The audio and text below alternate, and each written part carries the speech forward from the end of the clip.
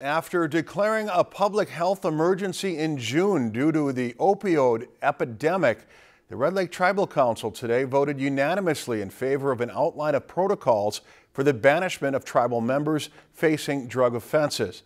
Banishment has been part of tribal ordinance since December 2003, but there was no protocol. Under the terms, the individuals would not be allowed on the reservation or at any of the casinos. Now, during a monthly meeting, the council determined which crimes could be considered under the ordinance, how long it would last, and how individuals could reclaim membership. In the approved resolution, the council said that would affect people in drug-related behaviors or charges may include, but not be limited to buying, selling, manufacturing, administrating, transporting, and distribution. A member of law enforcement or prosecuting party would issue a petition for banishment. The petition would include the party or party's names or names, reasoning for the decision, and length of time. There would also be a hearing where evidence would be presented and a burden of proof would have to be established. Banishment would last one to five years at maximum unless there is no progress to address underlying issues that led to banishment.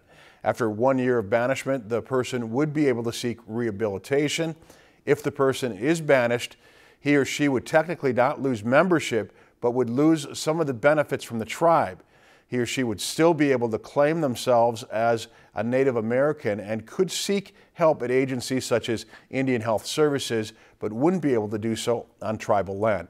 Now, the council also agreed to execute a substance abuse treatment program license for the Red Lake Medication Assisted Recovery Services program and further authorizes application for any further licenses that will bring the program to fruition. The document also said that the Tribal Council is also developing additional tools to fortify the spectrum of services that are, that are available to treat tribal members suffering from addiction. If you've enjoyed this segment of Lakeland News, please consider making a tax-deductible contribution to Lakeland Public Television.